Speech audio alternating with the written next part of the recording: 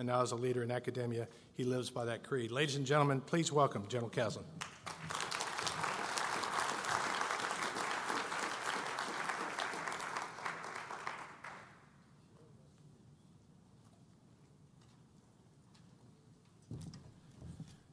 Well, good afternoon, everybody. Thank you very much, sir. I appreciate that. I got to tell you a Bob Wood story here, real quick.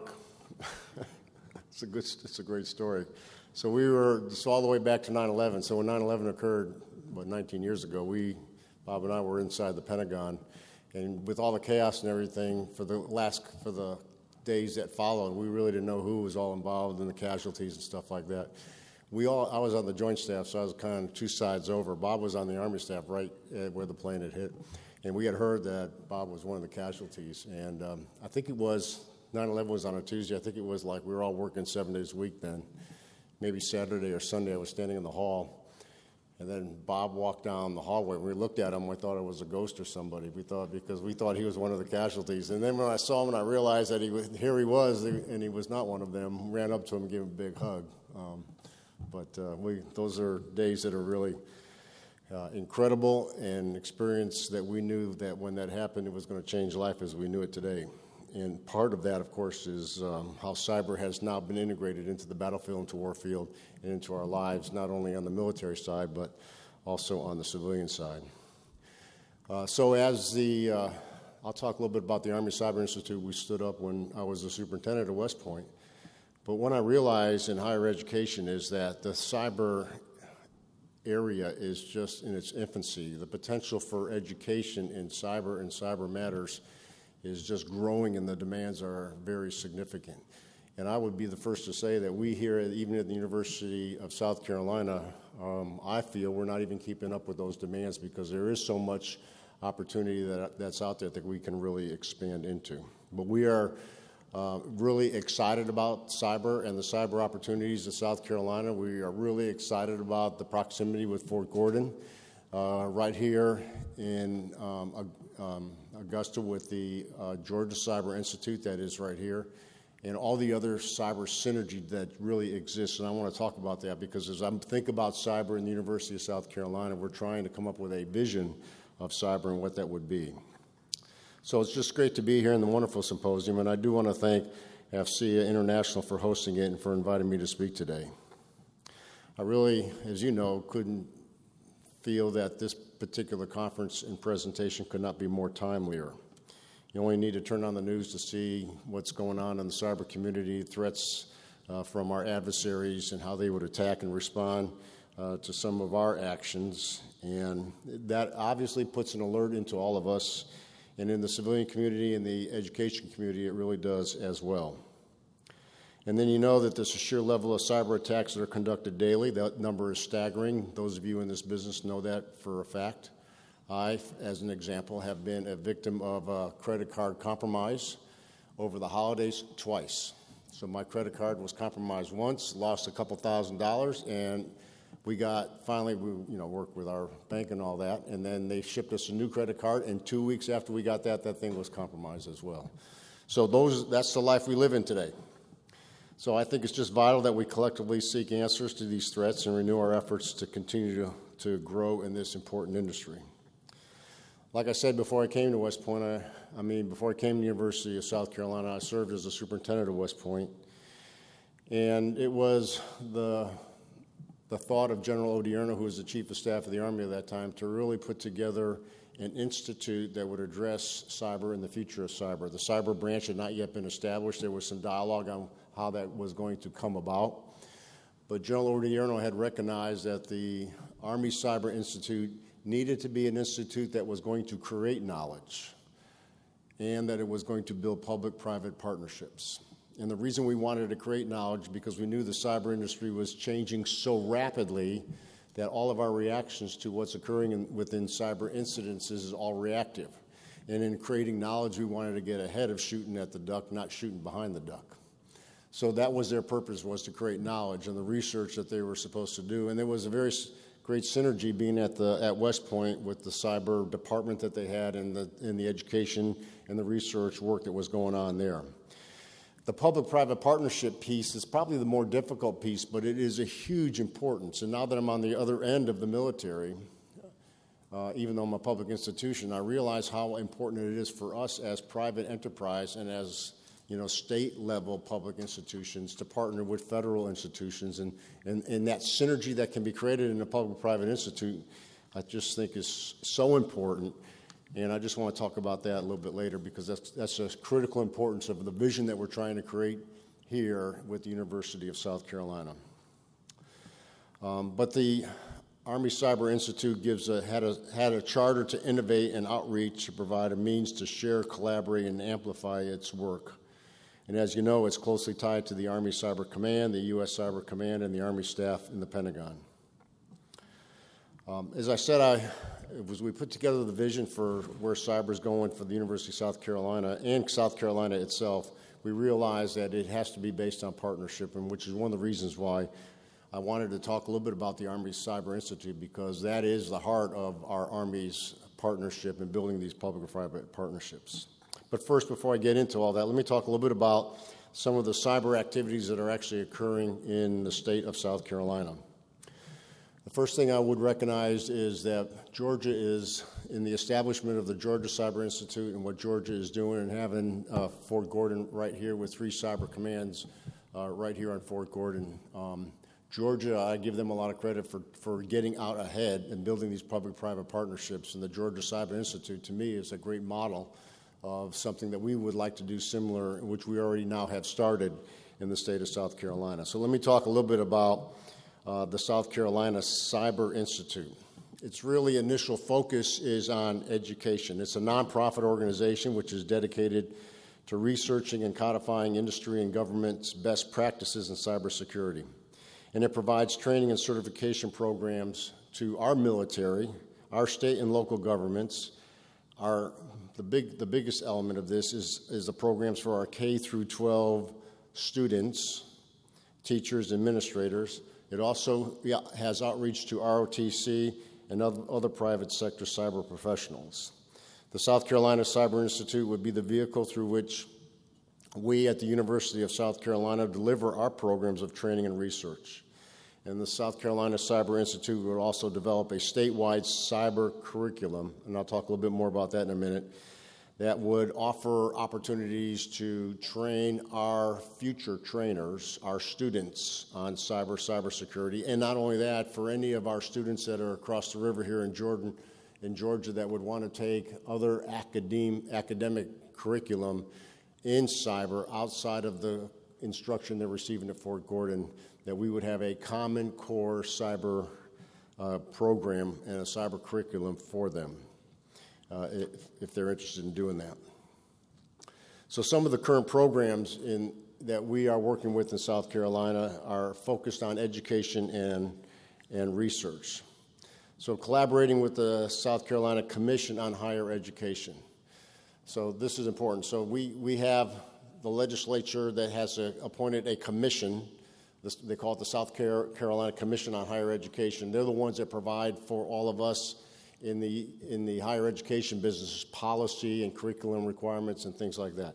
So we, as we work with the South Carolina Commission on Higher Education, we are in the process of developing a four-year cybersecurity curriculum which prepares our students in Georgia to pursue cybersecurity post-secondary degrees and, and, and careers. And this is what I had talked about previously that, uh, and, and, I think personally this is kind of a uh, kind of a stub in, in it's kind of an obstacle in our efforts in South Carolina to have this core curriculum established. It's not yet established, but is putting us behind the power curve in, in partnering with students in Fort Gordon who would want to take cyber curriculum courses in the University of South Carolina because the commission has held us at bay until they can get this core curriculum approved. So we we are working very closely with them. We're working very aggressively with them to get this thing approved as quickly as possible. And once it's approved, then, then we want to enter into, um, with the Center of Excellence at Fort Gordon, to be able to have career cyber curriculums that they would be eligible to take if they so wanted to do it. Then we have this thing called the South Carolina Cyber Patriot. So, the South Carolina Cyber Patriot is a national youth cyber education program, It's created by our Air Force Association. It's focused on K through 12 students, so their, for their careers in cybersecurity and other science, technology, and other STEM type of disciplines. Central to this effort is the annual National Youth Cyber Defense Competition. It puts teams of high school and middle school students in a position of a newly hired IT professional tasked with managing a network in a small company. So the top teams earn trips to the national finals competition where they can earn scholarship money. And the, and the uh, University of South Carolina Department of Integrated Information Technology, which is really our cyber school, the USC Inter- Integrated Information Technology manages our Cyber Patriot program. Uh, and under the new st- structure, it might get rolled into the, uh, the um, South Carolina Cyber Institute or just might stay where it is. Um, University of South Carolina's uh, Information Technology also stood up another program, a cyber education statewide program and certification portal. So this has been launched with NSF funded cyber portal in 2019. It's been a great success. Uh, its users are its pilot program logging more than 12,000 hours of training. The cyber portal deploys, it actually deploys virtual labs, training manuals, a standardized curriculum to support statewide teaching and research uh, with proper resources for instruction. Upon the success of our pilot program, the cyber portal is now offered to any state educator, state and local official, military, and other cyber professionals. Our cyber portal also enables participants to earn nationally recognized cyber credentials enhancing their ability to find employment in the IT sector. Um, the NSF funded education portal, like I said, logged more than 12,000 hours of training in this pilot program. So we're excited about that. But this is something that we put up in order to, um, the entire state has access to cyber, cyber education in, in, their own cyber development. And in the end, it really enables par, uh, participants to earn cyber credentials that are recognized at the national level. I had mentioned about this program to try to train our future trainers, our future cyber leaders. And um, South Carolina Cyber planned and delivered the 2019 State of South Carolina Cybersecurity Awareness Symposium, which was entitled Cultivate a Digital Culture. And it had over 175 South Carolina Department Administrator and government officials that participated in this. Uh, the University of South Carolina Integrated Information Technology provided training workshops on tools and protocols for participants, and they, and, that, and they came from over 30 states, which we are very proud of. So these are a couple programs that are some of the current programs that we have for workforce development and for outreach. As part of our military infrastructure and workforce development, the Cyber Center of Excellence here at Fort Gordon um, is the goal there is to partner with them with our cyber curriculum.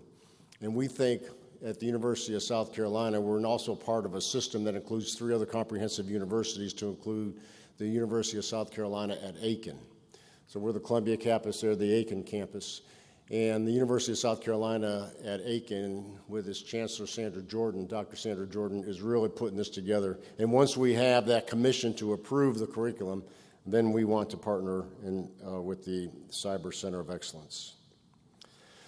Let me talk to you a little bit about uh, critical infrastructure protection, if I could, because I think this is one of the most important areas and opportunities that we as a university have to really help develop not only cyber education at the university, but to really develop cyber education and awareness within the entire state, both on a public and a private partnership. So we are currently players in the upcoming Army Cyber Institute Jack Voltaic exercise that's going to take place in April in Charleston and in Savannah.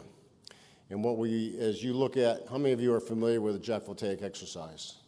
Okay, good. So, so how many of you are familiar with the one that's going to take place in April? Okay, a number of you are. So we want to play in that, and it looks like we're going to be able to so that you, if you look at the in Georgia with the Savannah Harbor and in uh, uh, South Carolina with the Charleston Harbor and the cyber incident that really collapses that particular infrastructure, we want to create the scenario and have, have asked the Army Cyber Institute to modify the scenario so that it not only has an impact on the harbors, but it also have an impact on Columbia and some of this infrastructure within Columbia itself, like our power grids or our big business or big database uh, capabilities, and have a compromise. We've already done some, some work. We, the university, have done some work in working with Blue Cross Blue Shield and some of the other uh, uh, energy type of infrastructures to see where we can have some participants. But the Jack Voltaic exercise will create the scenario that will pull these public private enterprises together to understand what actually took place, why did it take place, what are some mitigating factors that we need to put in place, what are some policies and procedures that have to be addressed, and then how do we go after this in the future from a public private partnership. We think this is so critical that it can potentially really take the, the South Carolina Cyber Institute and expand it from its small, uh, from its small education effort right now and really expand it so that it can really look at vulnerabilities within the state from both a public and a private perspective to understand where those vulnerabilities are and to put mitigating factors in place, as you know, whether they are policy, procedure, resources, infrastructure, or whatever. So we are very excited about that. Uh, and as a university, we, we see ourselves as a catalyst of bringing all of this together for our state. And that's one of the, one of the things that we, we're looking forward to doing. Uh, another area that we're working on is the South Carolina Workforce Development Plan, which is really designed uh, designed to align talent with job markets. And we're working with the North, actually, we're working with North Carolina Chamber of Commerce on this as well as the South Carolina Chamber of Commerce. And some of the corporations that are working with us in this particular program is Cisco, Palo Alto, and VMware. uh, And we're excited about working with them. Let me talk a little bit about future goals, and, I'll, and then I'll wrap it up and uh, turn it back over to Bob or whatever questions that you might have.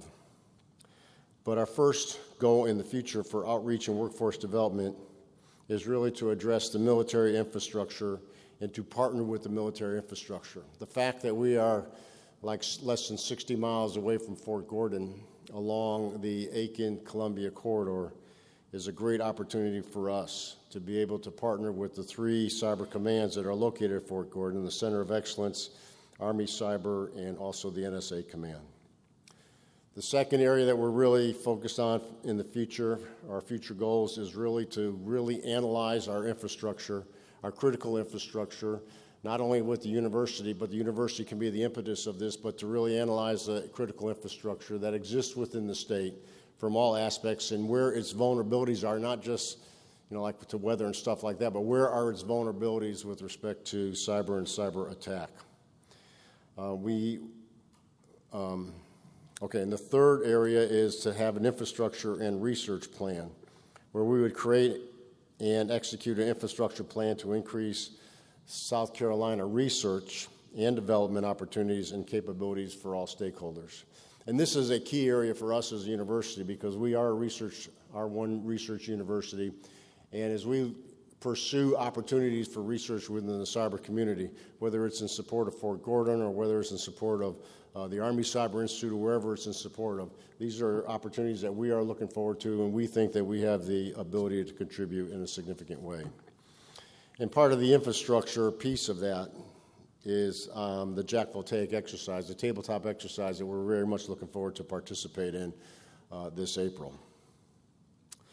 Uh, I had mentioned the workforce development plan and working with relevant state and industry stakeholders the South Carolina Cyber Institute will eventually develop a statewide workforce development plan that will meet industry's growing shortage of uh, certified st- cyber and IT professionals. This initiative was formulated following several years of industry feedback, which cited the lack of properly trained workers as a major impediment to, uh, of locating some of these cyber workers in the state of South Carolina.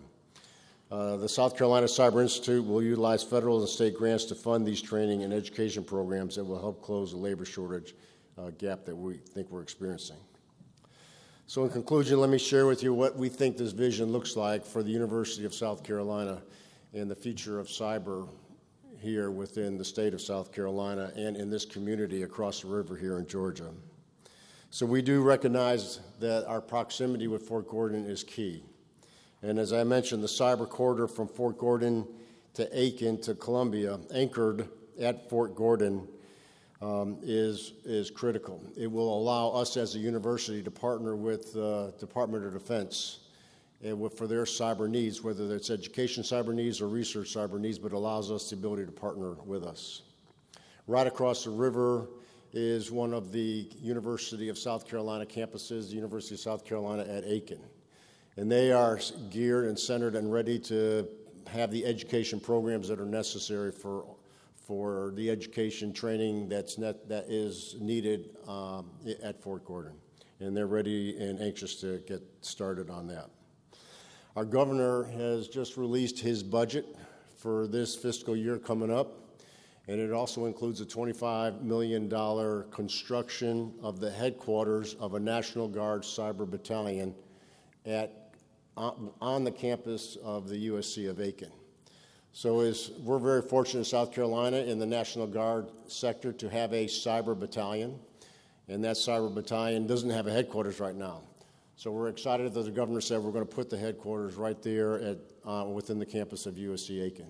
So not only do we have the education uh, capacity to be able to partner with Fort Gordon, now with the National Guard headquarters there, it just creates a synergy of putting them right there with the proximity that they have from a military to military relationship with Fort Gordon but also the opportunities that they have to partner with uh, the uh, USC Aiken and USC Columbia, which is just down the road. So we're very, very excited about that. And incidentally, on top of Fort Gordon being here, if you go about 35 miles south of Aiken, you, you all of a sudden you find yourself on the Savannah River National Laboratory. And even though the Savannah River National Laboratory's main focus is nuclear hazardous waste and hazardous waste disposal, they have a laboratory of science that they're looking to expand in the future. And they, uh, believe it or not, they just put a manufacturing center on the USC campus as well. So uh, the, the growth of that area, the growth of that area, whether it's cyber manufacturing, uh, hazardous, uh, hazardous waste, nuclear power, is just really something that we're really excited about and is creating a synergy and a, and a buzz of activity. And then you take the corridor back to Columbia, and Columbia is where you would find the South Carolina Cyber Institute, a public private nonprofit uh, organization that will address the, the things that are necessary to secure cyber infrastructure for the state of South Carolina, whether it's a harbor, whether it's a, a, a public power entity, whether it's big data business or whatever it is, you know, they're the ones that will do that. And to do all the other tasks that I had mentioned previously, particularly in education and in workforce development. And we're excited about that to get that thing up and running and bring it up to the level it really needs to. So you that's and then you have the University of South Carolina with its R1 research capacity supporting research and providing education for the entire cyber needs and requirements throughout that quarter. And this is where we really are excited about where we really want to uh, uh, look towards the future and, and, to get going. And then if you look south, you can almost make it a triangle going down to Charleston uh, the Jack Voltaic exercise, for example, that addresses some of the cyber vulnerabilities down in the harbor sector down there. So that's where the future is. That's our vision of where we're developing. We're very grateful for the opportunity to partner with our um, Department of Defense friends and other public entities that are involved in all of this.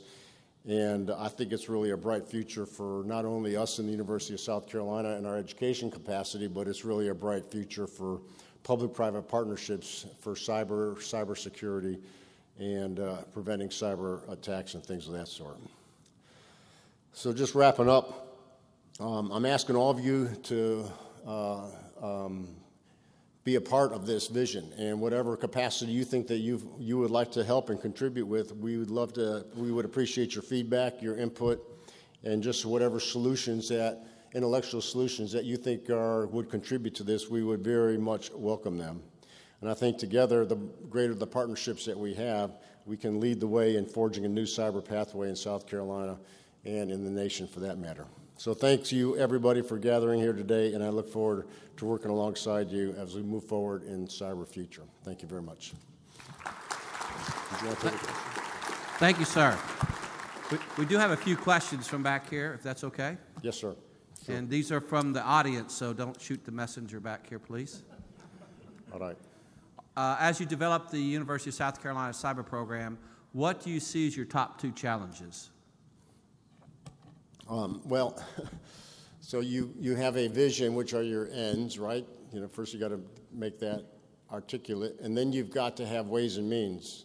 So ways and means are programs and resources, right? So everybody say, okay, well, where's the resource? In other words, where's the money to make all that happen? So that, of course, that's one of your challenges. I was very fortunate as a new president that the previous president had recognized that normally new presidents, when they come on board, have, have initiatives. And so they had put so much money away for some of these initiatives. And I think that this is a great example for that initiative to provide the resources that are necessary to be able to build the programs that are, that are there.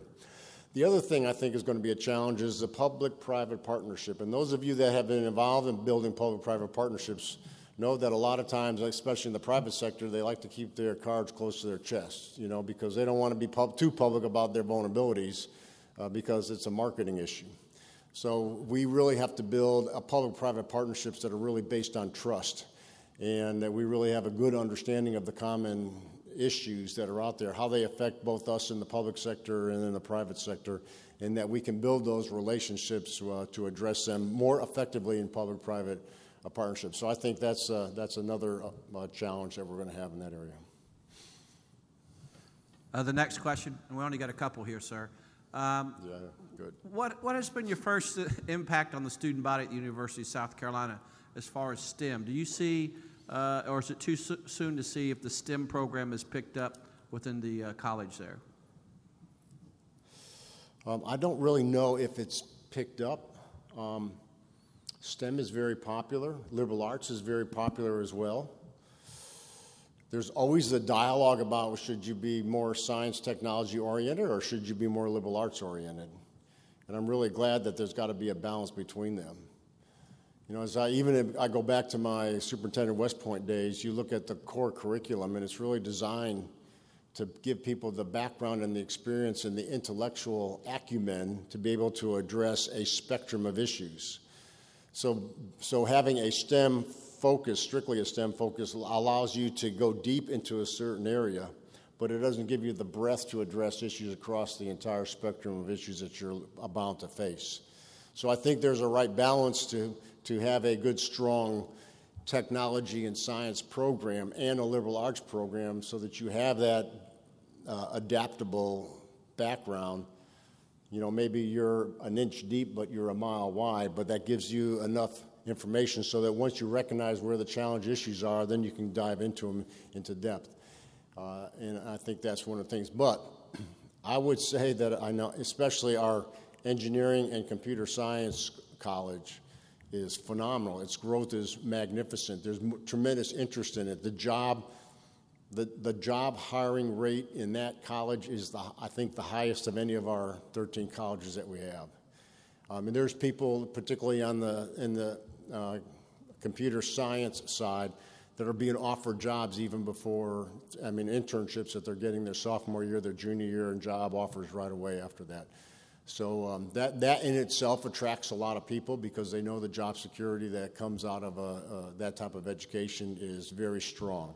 Not so much in some of the liberal arts side, but uh, um, we do know that they're at the same time that we have a lot of interest in the engineering college and the computer science college, we also recognize that there is still a huge engineering deficit within our nation as a whole.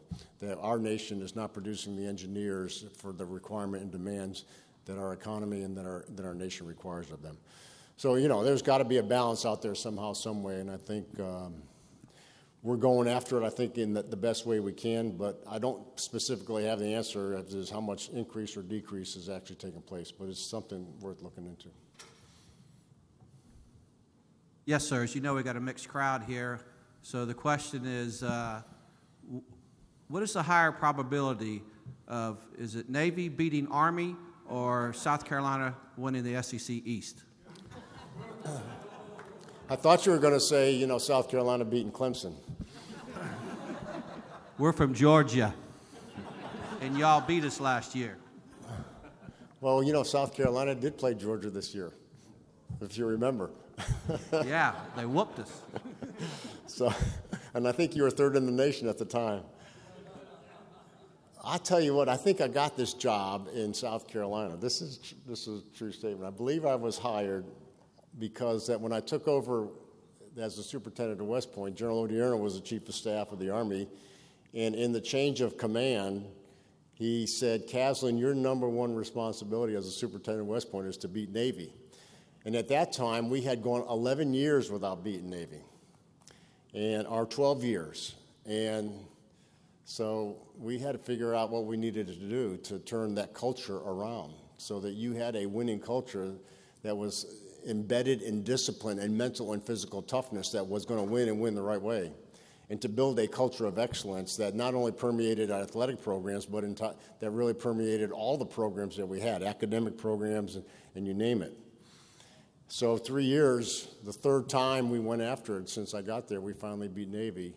And then we uh, beat them three years in a row. So I left, and then they lost. So, That's um, the when I told that story during the interview for South Carolina, knowing that South Carolina has, hadn't beaten Clemson in, in not quite the same number of years, but there was a burning desire among Gamecock fans to get back into the swing of things and learn how to beat Clemson again. I'm convinced that's why they hired me. So.